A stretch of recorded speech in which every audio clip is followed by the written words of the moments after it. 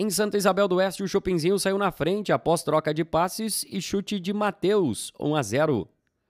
O goleiro Andinho do Ampere bateu de longe um leve desvio em Vini e gol de empate, 1 a 1. No segundo tempo, virada do Ampere após Pimpolho cruzar e Sula fez 2 a 1. Ataque da Cel com Pablo e no cruzamento de Jeff Vini empatou 2 a 2. Em cobrança de pênalti, Sula colocou Ampere de novo na frente, 3 a 2. Mas no escanteio, Vini deixou tudo igual. Final Ampere 3, Chopinzinho 3. A Cel lidera o grupo A, já o Ampere é o lanterna do grupo B.